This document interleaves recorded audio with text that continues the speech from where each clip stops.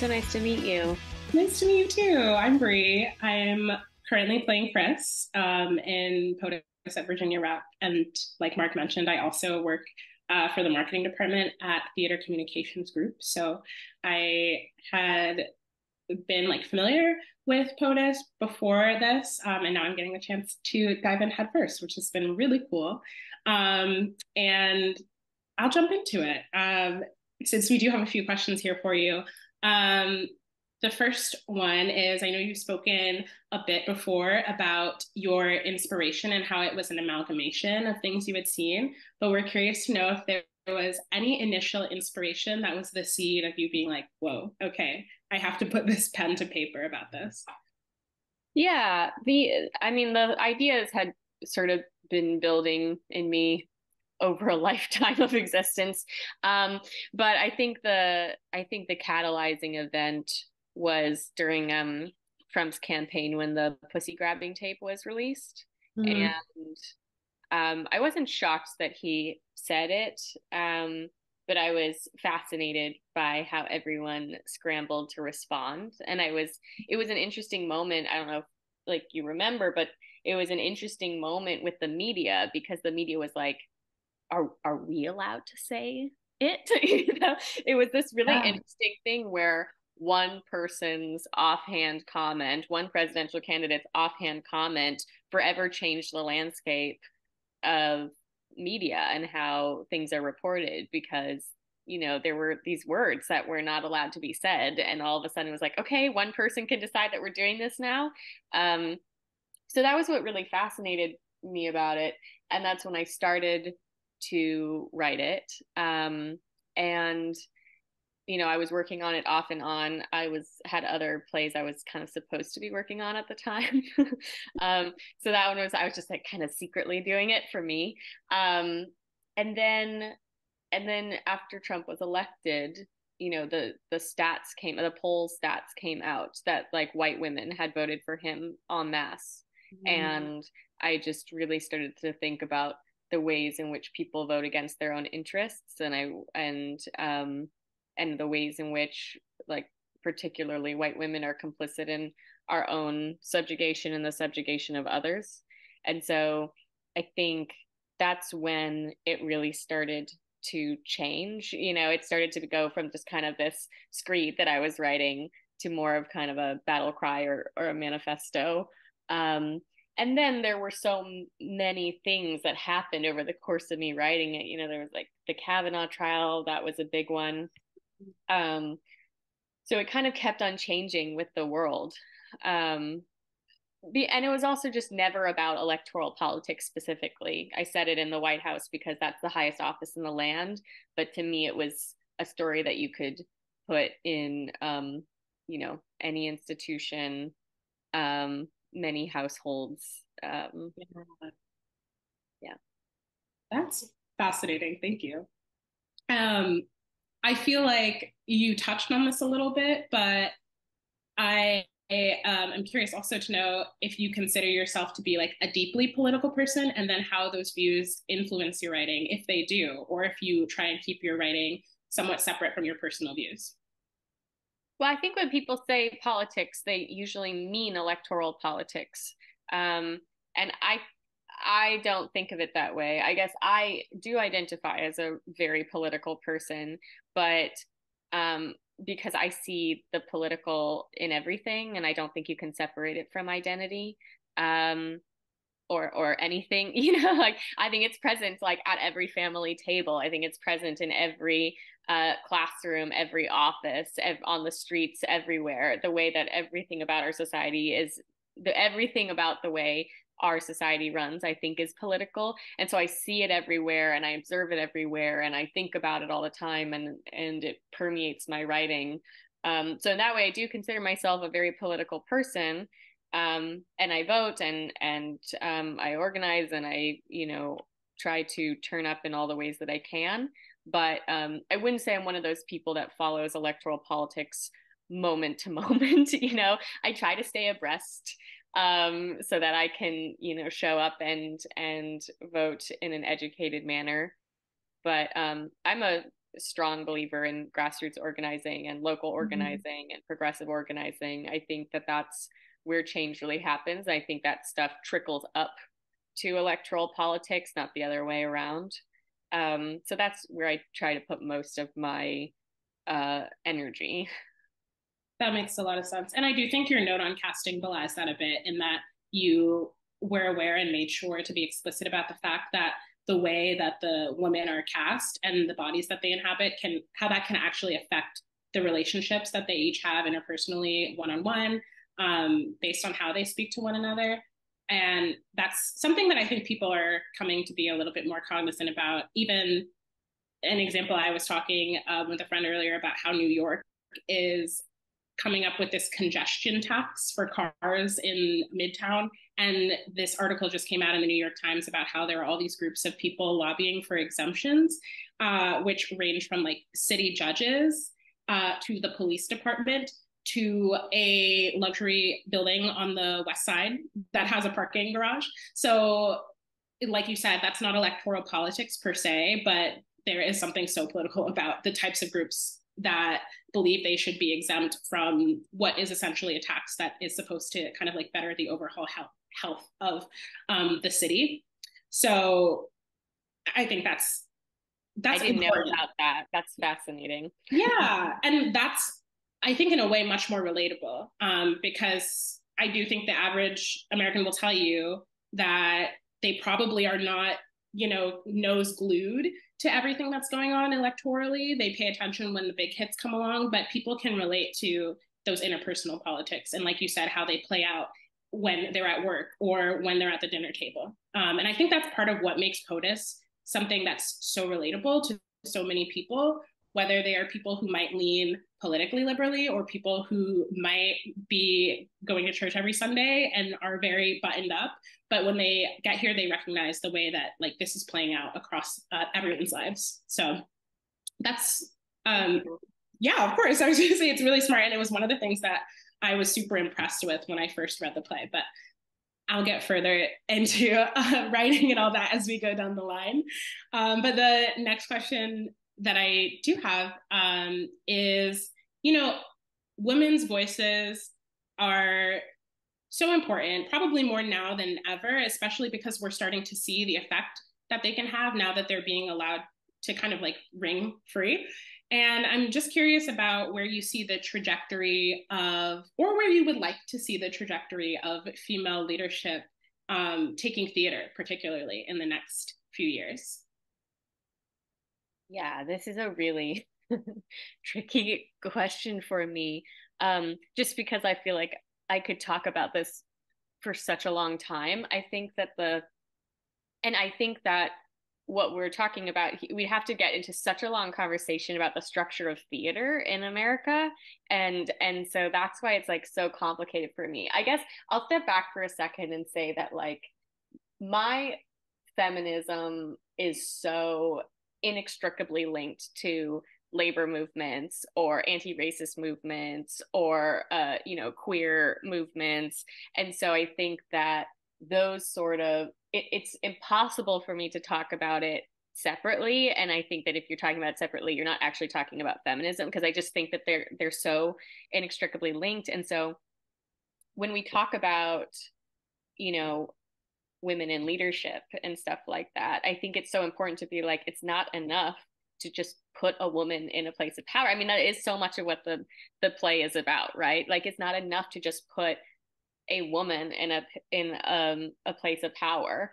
Um, or a person of color in a position of power or a, or you know like it's it's not that does not in and of itself change a system um if their politics or our still invested in maintaining the status quo, which unfortunately so often happens when people have experienced depression and they're put in a position of power. There's mm-hmm. like this like you know i'm gonna i'm gonna like cinch everything up and close the window behind me you know um and so i think that's it's a really complicated um question and theater is in such a hard spot right now um, and it's just been such a long time coming this this um, position that theater is in that people are talking about because you know we don't have a government subsidized you know theater or like so many arts programs. It's often not taught in schools. And so you have generations of people that are um, that are coming up with no interest in going to theater or have a very particular association with um, what it means to go to a play and stuff like that. So um, i think when we we have to talk about what what theater can be and what it can bring to people and I think about this often in terms of like concerts because people say like nobody gives money to theater and stuff and and that everyone is strapped and like for money and cash and all this stuff right now and all of that is true and yet like people are showing up for Beyonce's tour right? Like so it's like you know they're young people are like they save up all year for it you know they find a way to prioritize that and so it's like okay well what are people getting from going to a concert that they don't think that they can get from going to the theater um and and I try to think that way. And it was something I thought about a lot with like POTUS, which is like, how can it feel actually like you're going to a concert where you're kind of like, you're like talking back to it and you're physically engaged and there is like music and there's this like sense of exhilaration and community. Like all of those things are are important to me. I know I'm not answering your question directly, but I guess I don't know how to.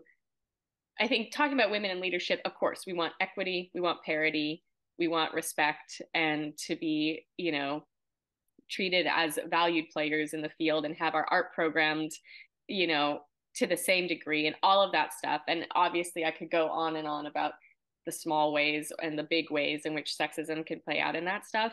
But I think it's more interesting to look at it in terms of like theater as a whole because once again theater is just a microcosm of how everything else in this country works. And so again it's like you kind of have to approach it in the same way that you approach um what we're approaching all these other things. It's like turning around this ship that has been on this path for a really long time you know?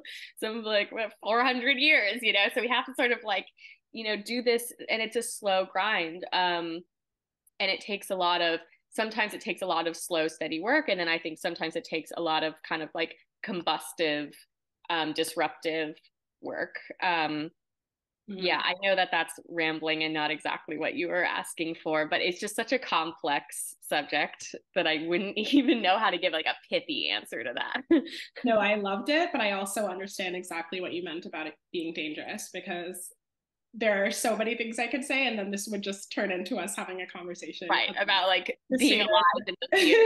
yeah, for 25 minutes.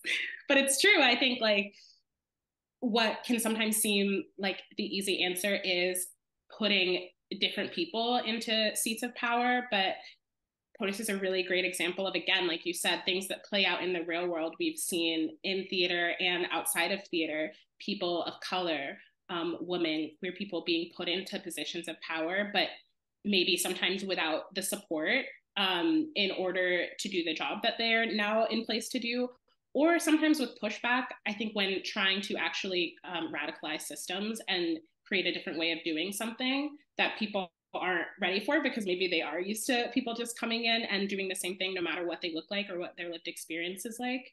Um, at the risk of sounding like a paid ad for the New York Times. they also had a really interesting um, kind of breakdown where they talked to theater critics about this like surgence of jukebox musicals that are using early 2000s largely written by um, women music and one um, critic made a really interesting point where she talked about how in a lot of these um, stories the kind of ending to the fairy tale of finding your true love has been replaced with this ending of women um, taking power and how there's kind of like a dissonance and also a dissatisfaction to having that be the end of the story because in real life we all know it's so much messier than that. Um, and i think that that is what is so fascinating again about the play. Like we had not only table work but just in the middle of rehearsals so many conversations about what does it mean um, that there are certain people who are really invested in the way that things work right now, no matter how on fire things are by the end of the show, versus people who um, have never had a vested interest, people who have had that realization earlier, and then on top of that, the personal relationships they have with one another. So you all will yeah. have to see the show to get the rest. Yeah, but. yeah. it's a, it's such an interesting it's such an interesting thing, and also I think it's that proximity to power, right? You know, like I had a vested interest. I had a faith in, um, you know, figures of authority and establishment way longer than I should have because of how I was raised and because of who I am and how the world treats me. And so that proximity to power, there's like this investment in being like, no, no, no, I'll just play the game harder. If I play the game harder, right. it will work. It'll work. They must not be playing the game hard enough. Mm-hmm. It's my fault, mm-hmm. you know? Yeah. I, I, think that sort of um, cycle of self-talk, which honestly like relies on a a type of self-punishing and like mm-hmm. individualism. Um, is is so real. And then yeah just i think just putting i have often been so disappointed by by women in power and being like you are not representing my best interests. Um, and that should not be anti-feminist to say. In fact i think that being able to disagree and have conflict and have intergenerational conversations and debate and all those things are really integral to having a successful movement of any kind Absolutely. And to be able to hold one another accountable. I think that that's something that's also integral to community, which again, we lose when we become hyper focused on individualism. But I think with best intentions in mind, that's how democracy should work, right? right. Um, I'll move us on because we have many questions to get to. Um, but thank you so much for that. That was a treat for me personally.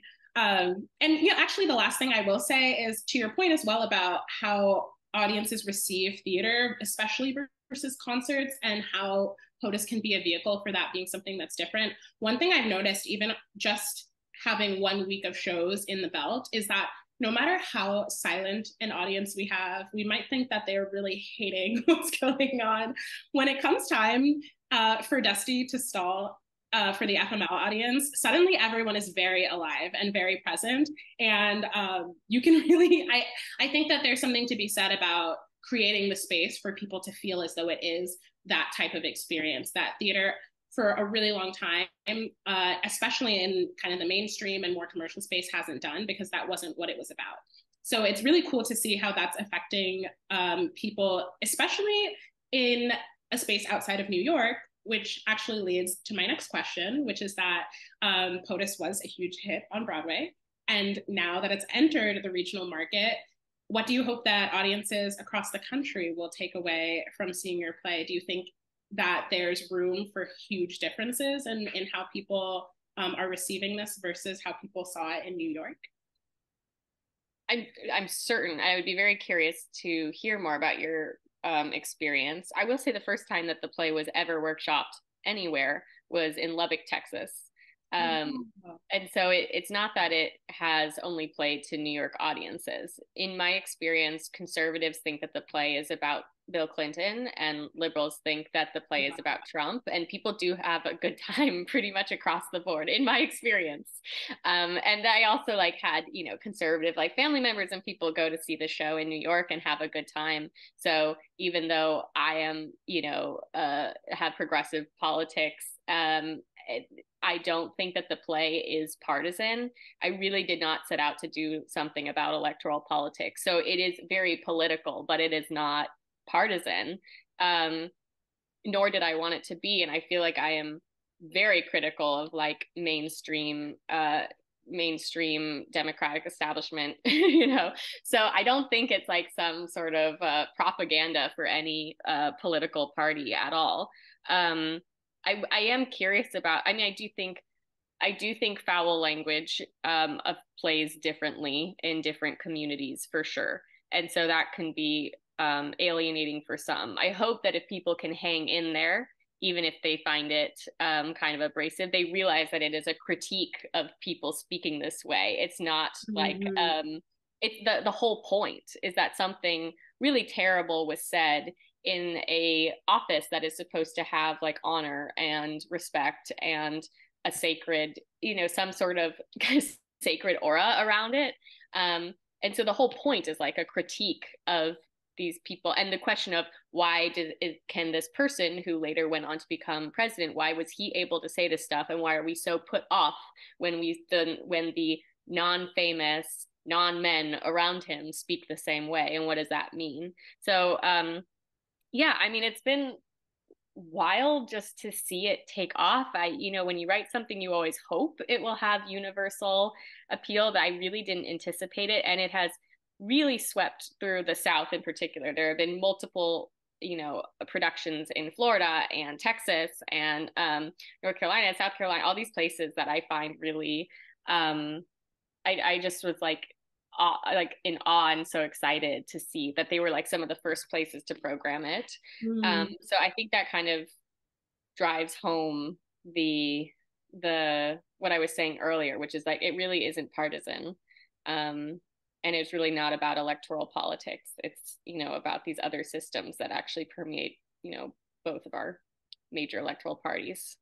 Absolutely have you had a chance to see any of the regional productions or do you have it on your schedule um, to- I'm, leaving today to go to berkeley rep um, oh my gosh. where i'm going to be for um, the next week for rehearsals so I, i'm not involved with with most of them there were mm. a few regional productions that i had relationships with and knew the directors and so they asked me to come in and be a little involved so um, i'm about to go off to Berkeley Rep. I'm um, involved in the Geffen at the LA in at the in LA and um, Arena Stage in DC and um, Steppenwolf in Chicago. So I'll I'll see a few of those um, and any that I'm like available to right. to pop over to.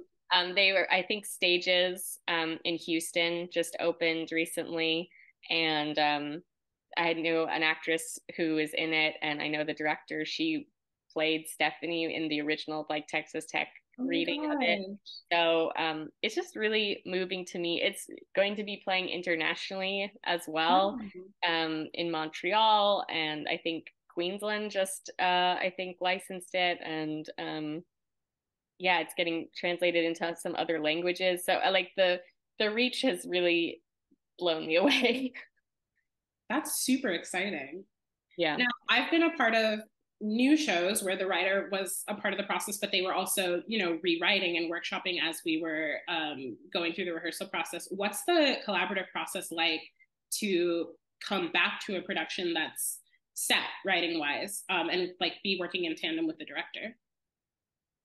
Yes, it's weird. Um, I it's new for me as well. I mean, I think everything about the the Broadway production was like kind of not traditional like it went up cold and it went up mm-hmm. fast and mm-hmm. a lot of it kind of was like tailored to that specific kind of cast mm-hmm. and and um moment and so there have are like a few adjustments and also it just was so fast i think when you're moving that fast of course it's like mistakes can be made so it's been helpful because in working with all these things like i've had a director be like is this a typo? And be like oh god it is a typo. I'm so sorry.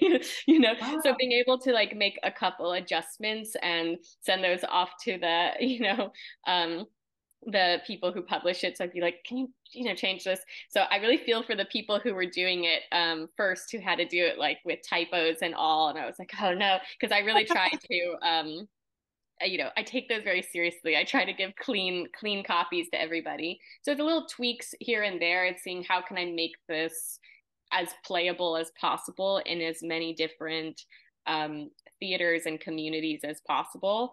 Um, and I really don't want it to have to only be done with a big budget on Broadway. I want it to be able to be done in small theaters. When I wrote it initially, it never occurred to me that it would be done on Broadway. So I just assumed it would be done in a black box, you know. Mm-hmm. Um, so I think things being able to to do that, you know, and and modify and adjust in that way, um, just to make it have as as kind of universal um and long long lasting i there were a few references to twitter that i i'm sort of tweaking um yeah. because twitter of course has changed um, yeah you know so you're you're always trying to um make it as not dated as possible but it's tricky right yeah, I mean, things move so quickly now. The difference between something going yeah. up in even kind of like 95 and how long you would have to wait to sort of modernize that versus something that was created in like 2010. Um, yeah, so. it's my fault for including Twitter in the first place. That's what you get. I mean, that was that's on me a hundred percent. That should that has no place in literature. Why are we doing that? They'll look back. They'll look back, archaeologists, anthropologists, years from now. What the hell was this? um, well, another um, question I have about the play something I was also really struck by um, when I first read it was the fact that the characters span so many different ages, some of which are ages you have yet to reach, and yet they were all written so sincerely and and so um, in such a complex way. And I'm just curious about what it was like to put those characters together, whether it was a lot of research that was far from you or whether there were people who had been part of your life that you were able to kind of connect with in order to put those characters together. Yeah, I always get this question because I think a fair amount of my work centers on women in their like 50s and 60s mm-hmm. and um, people are always asking me about that and I don't know the answer. I mean, I I've never written from my own like I've never written based on my own life. Um mm-hmm. And I don't know, I guess I'm private or I find my own life boring or something. I don't know. But um I I yeah, I don't know. I think when you're writing anyone, I just try to listen, mm. you know, and I really admire. I just try to listen to what's being said because people people do talk about their own lived experiences kind of consistently. I think it's what people talk about most is themselves and what they're feeling and what they've experienced. And I think often we tune it out. And especially if women over a certain age, we stop listening. And so I think if you just listen to what is being said, people are giving you all the information about their character that you need, you know? Um, and then you can sort of think about their lived circumstances and and go, okay, well, what would have caused that belief? And what would, you know, um, I think the way that the way that I write is not I put a lot of myself into all of it. And with POTUS, I really feel like all seven, I have like li- I have been all of those women at various points, you know. But I think when it comes to lived experience, and this is always like a tricky conversation because I don't feel like everyone has the right to tell every story. But I do think that we are very empathetic people and that we've all experienced all of the emotions by the time we're like five or something, you know? And so the circumstances that cause those emotions really change. Um, and so that's where you have to use your imagination. But, you know, I know what it feels like to be lonely. I know what it feels like to be overlooked. I know what it feels like to be overextended. I know what it feels like to be, you know, not feeling, um, you know, valued. You know, I, I can those emotions are fine. So even though I, you know, I'm not a mom yet and I am not, you know, pumping all the time and I'm not, you know, trying to run for president necessarily, like those are things though that I can imagine, like take this feeling, the small feeling that I've had and then put it on in those circumstances under those um lights and stakes and all those things. And it's not hard for me to to imagine what that would feel like. Um but I I really admire older older women and I feel very much like I walk, you know, um in in paths that they have already um you know, tread and forged for me. So I guess it's my way of kind of honoring them. Um but you know, to me like Margaret's experience is as foreign to me as Dusty's experience. You know, mm-hmm. like you know, I think they're they're all farther away. So it's just sort of being like, well, what would make this person really like human? What would make them tick? What are the things they're dealing with all the time, and what are those things that I relate to? Um, that's sort of how I try to approach all all of my characters. That's such a beautiful answer because as like a reader and an actor, I was really impressed by how well written the play was, but also as a human, I was like, wow, like I need to like pay attention a little bit more to what's going on around. And and oh, even talking about being, you know, being so in touch with your emotions and being able to zoom out and like you said, have the empathy to think about what that would look like in someone else's lived experience. So um yeah, I love that that that is how you explain talking about it because I think that that's something that we could all stand um, to do a little bit more of, even if we're not uh, hoping to write Broadway's next hit play. I guess just have a really overactive imagination, which my daily life causes me a lot of anxiety. But but see what a healthy way to channel that. I'm like, okay, I, a channel. I can channel it this direction instead of being like, oh my god, this thing could happen. exactly which I love. Um, and then again, speaking of Broadway, I'm just curious because I know um, you have worked on many a stage at this point and are now, I believe, going to another fellowship. What is maybe not the biggest, but what how, how has the experience differed between producing something and putting it together um, for Broadway versus those off Broadway stages? Mm. Um, I mean, Broadway is such a a wild place just because it has such a further reach than most off Broadway experiences. It is a place that still um, people who never normally go to the theater will go when they're visiting New York and stuff like that. Um, and so the reach is so much further than anything that I um, had experienced before there's a lot of money riding on it so the stakes feel incredibly high at all times for me at least um, i i felt incredibly aware the entire process mm-hmm. of what a big risk people were taking on me and on the project um, so yeah that that's like a huge that was like a huge um a huge thing that I felt, which obviously you have to work very hard to block that out so you can just do the work because the work requires taking risks. And, you know, before it often feels like, well, it's just my soul on the line here. and now it's like, it's my soul on the line. Then all these other people, like a lot of their money, you know?